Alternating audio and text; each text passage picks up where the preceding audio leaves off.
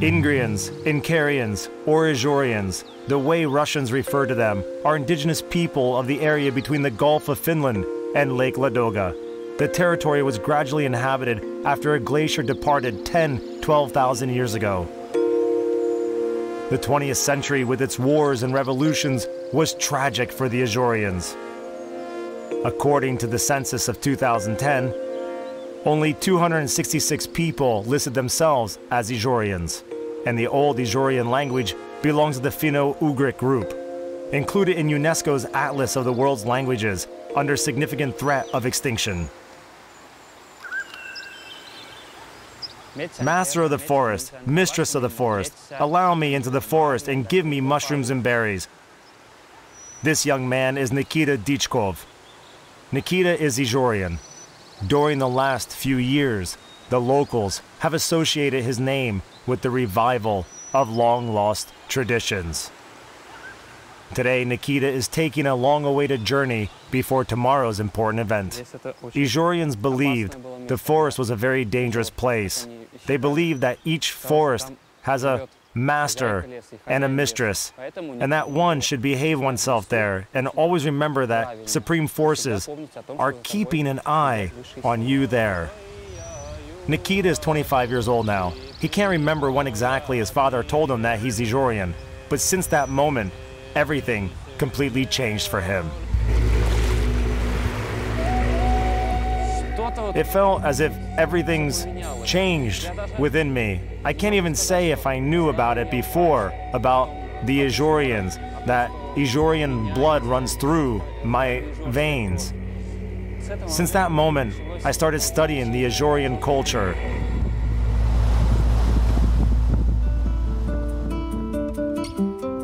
A resident of St. Petersburg, Nikita not only studied the old folklore, he also learned the Izhorian language and learned the old crafts.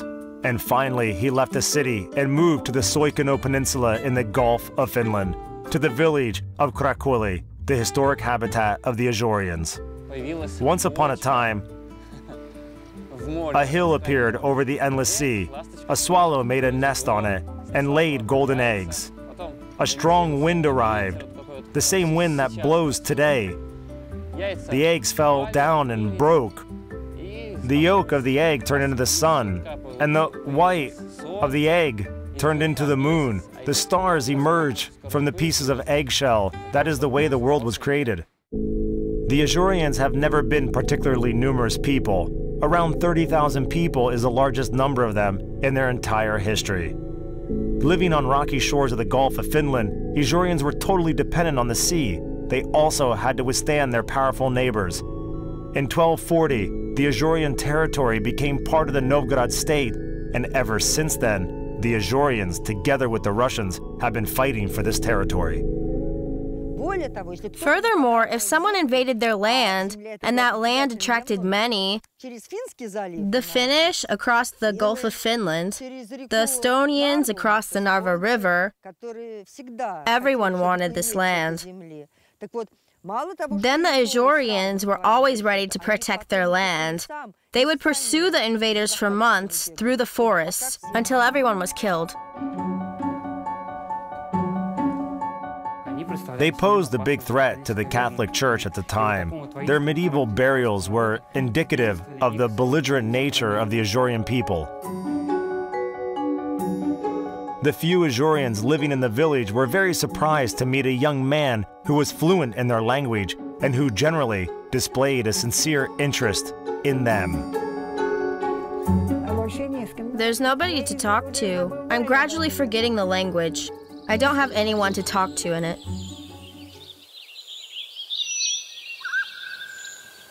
Good day. Well, hello, hello.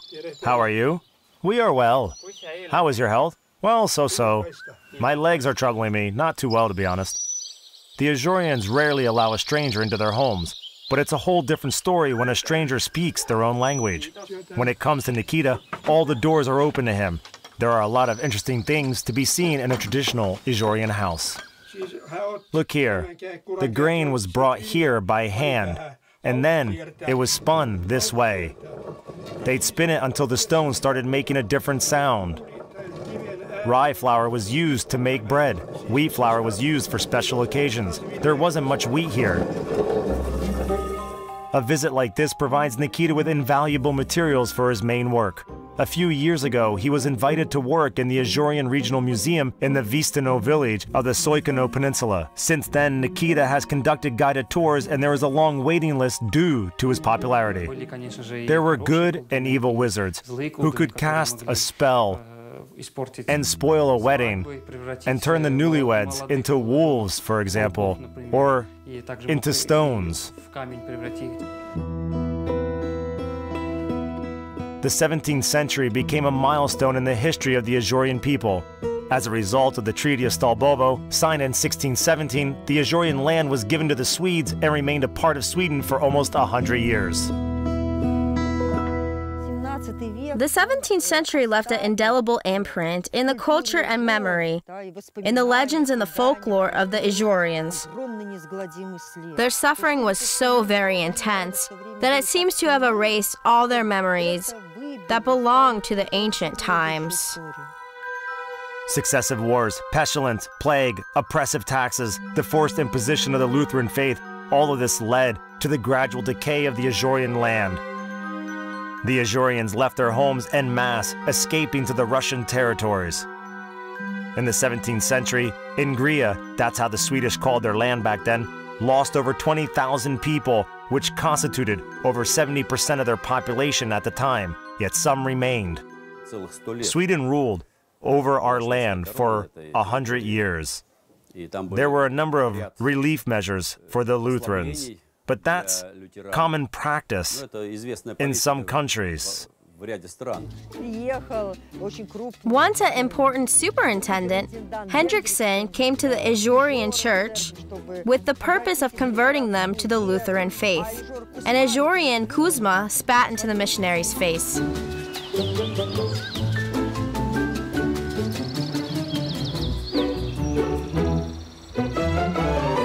What time? What time? At 12, Where? in Vistino, on the Soikino Peninsula. Ah, Vistino. In Vistino, Soikino. Vistino. All the local Izhorians are looking forward to tomorrow's event. It's their annual celebration where not only their neighbors from all around gather, but also guests from abroad. Nikita has to put up the last posters and prepare for the event. He's a jack of all trades, and tomorrow the entire celebration will depend on him. His colleagues from St. Petersburg will also arrive tomorrow.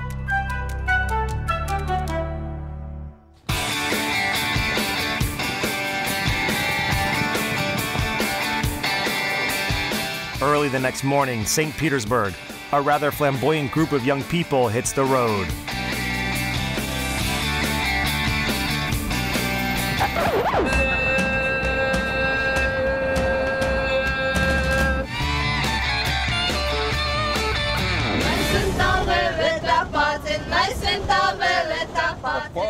A man happened to have a lot of misfortune in his life.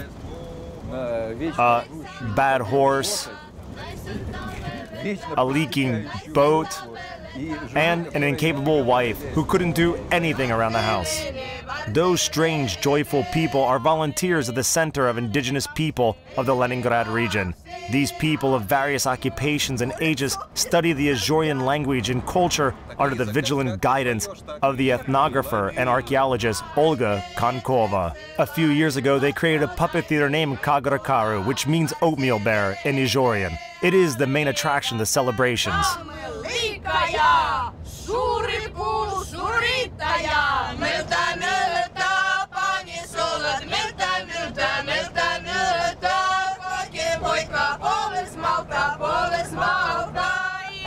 Some royal dynasties know all about their ancestors dating back to the 12th century. For instance, they know their legends and traditions. And I think it's great to safeguard your culture, which belongs to every representative of the people.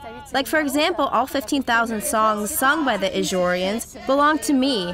It is very, very interesting.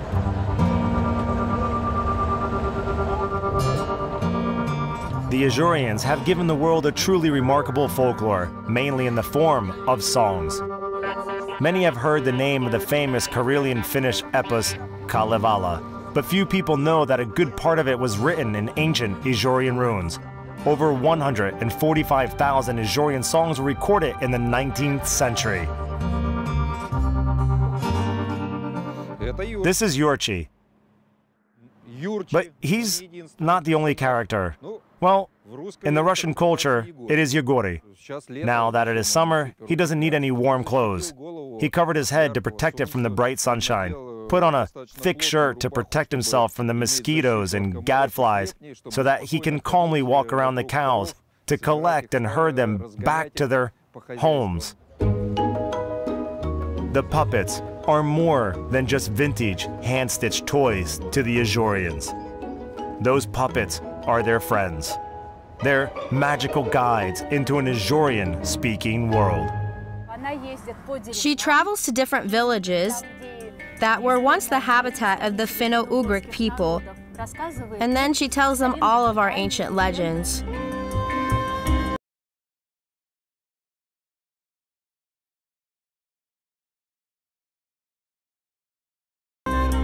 The 20th century was very tragic for the Izhorians.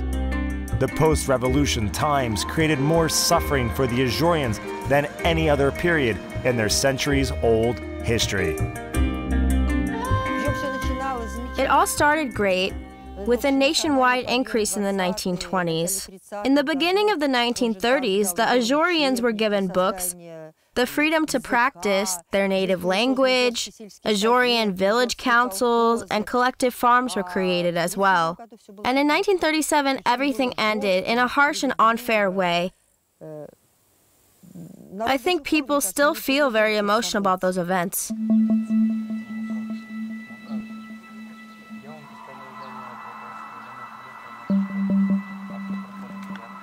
In the summer of 1937, all the Izhorian schools were closed overnight. The teachers were arrested. The books that were in Izhorian were burnt. Children were expelled from school for just speaking Izhorian. And not only Izhorians, but also their neighbors, the Vots, the Ingrians, the Karelians, and a large number of other small ethnic groups in Soviet Russia were victimized. And things only got worse. They also introduced a ban on fishing, and the Izhorians are fishermen. They can't go without fishing. It was all official. The government started this. So for the people, that ban was catastrophic. Then the war started. The majority of Izhorians did not have time to evacuate the land before the Germans arrived in the Soikino Peninsula. I've been through a lot. I was in a concentration camp, I was also a miner, and I was also in Finland. Wherever fate took me. The Germans rapidly moved northwest and besieged Leningrad, which is a well known fact. The Izhorians did not have an opportunity to get evacuated. Meanwhile, Finns, who fought on the side of the Nazis, needed free labor. The route to Finland for the Izhorians went through the infamous Estonian concentration camp Klooga. Hard labor and years of war resulted in the exile of thousands of Izhorians. The Germans didn't ask us. They'd come to your house by car, and they would tell you to get in. They didn't give us shoes. They burnt everything. Our village, our houses, we had nothing left to eat. I had to walk barefoot. That's why I can hardly walk now. I wore out everything within three months. My arms and my legs failed me because of the hard work. I was only 16 years old at the time. Nonetheless, the Izhorians survived. Izhorians are truly remarkable people. They are extremely proud, and Izhorian will never change his mind. Judging by the roles played in the puppet theater, an Izhorian is brief, especially with people who are close to him. But he tells his enemies exactly what he thinks of them in the finest detail before destroying them. The actors of the Oatmeal Bear appear in public in full national regalia, that is, dressed in national costumes. In a few minutes' time, the puppets will narrate a most remarkable story. It's better not to make the impatient spectators wait. Nikita is already on stage to open the festival. Like a golden field without limits, and the rustling of the trees reminiscent of the tides of the sea. The most sacred and dear to the heart is connected to you, dear Izhorian land. The national Izhorian costume is a different story. It's soaked in the entire ancient historical folklore and is filled with amulets and symbols. Traditionally, a man's costume had little embroidery, while a woman's outfit was lavishly decorated, with the predominant color being red, as the color red was considered to possess the strongest magical powers and to protect a woman from evil spirits. The charms are placed everywhere so that the woman is fully protected. Her head and ears are protected too, for example, with pendants, so that the evil spirits cannot enter the ears. The charms at the back, they make a sound to frighten off the spirits. There are hidden charms in the front, on the apron. Everything would have gone well if it weren't for one thing. The Izhorians didn't have light. They worked by candlelight and lived by touch. It was dark, gray, and boring. One day, a beautiful woman, the blacksmith's daughter, decided to go and look for the light for the people. She walked and arrived at a neighboring Finnish village where she saw that the people were happy because they had the sun and the moon. The Finnish people, being as stingy as they come, do not like to share, so instead of asking them, she used a sleeping potion and everyone fell asleep. The dogs stopped barking, the horses became silent, and the babies fell asleep. Then she quietly took the moon and the sun, placed them behind her back, and hurried back home. The Izhorians were not allowed to go back home. In 1944, an offer was made for them to leave Finland and return to the USSR, and most of them accepted the offer. However, when they reached the border, they were instead taken to different remote areas where nobody was expecting them. Yes, we were seen as public enemies. And we were told that we had proved that we were guilty. Guilty of what? I asked them. What are we guilty of? You were in Finland, but we didn't go there voluntarily. We were taken there. It's a very sad story.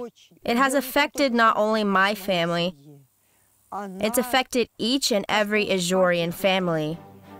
All of us. You know, for an Izhorian, losing our homeland is like dying.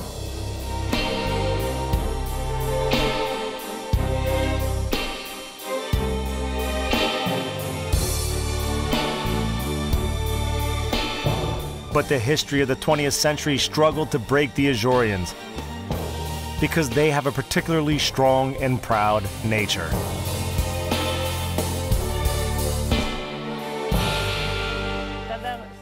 When we went to pick berries in the forest with the elder Izhorian women, they always started speaking in their own language when they entered the forest. It made them look younger, when they joked and sang songs in Izhorian.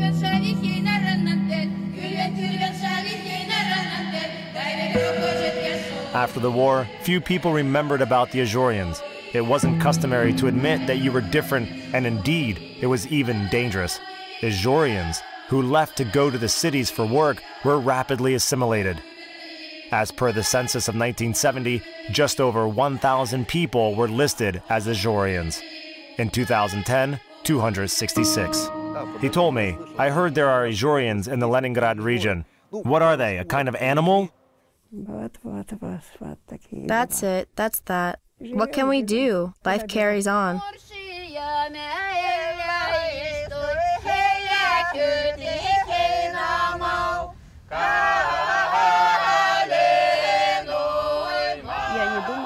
I did not imagine that a little spring would then turn into a river. Now that a keen interest in the Izhorian language has arisen, both children and adults are learning it. And then everything started to change. First, volunteers appeared, including archaeologists, folklore collectors, teachers, students, old Izhorian villagers, and modern Izhorians from cities.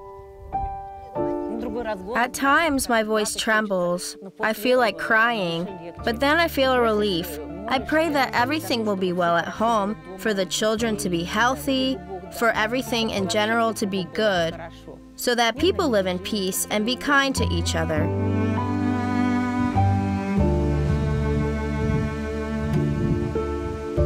Having survived persecution and much misfortune, the wise blacksmith's daughter managed to bring the sun and the moon to the Izhorians. It's time to think of something that's more important.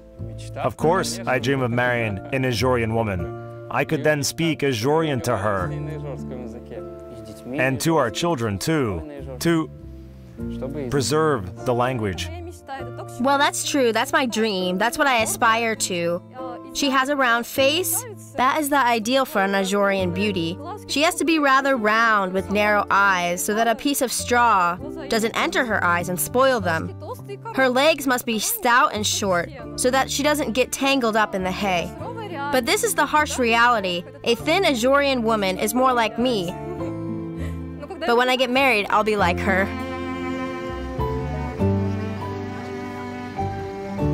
The vibrant Izhorian celebration has ended.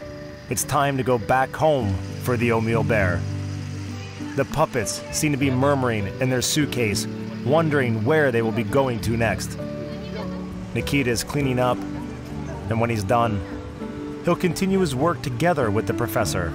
This autumn, he and Olga Konkova are publishing a manual on the Izhorian language.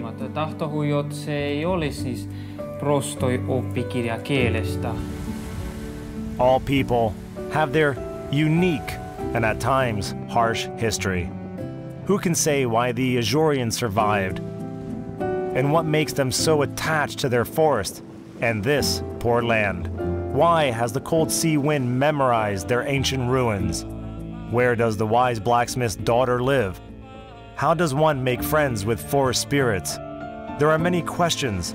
Meanwhile, the Baltic Sea continues to roll, the forest rustles, the sun shines, and Pelgusi, the elder of the Izhorian land, keeps gazing at the horizon.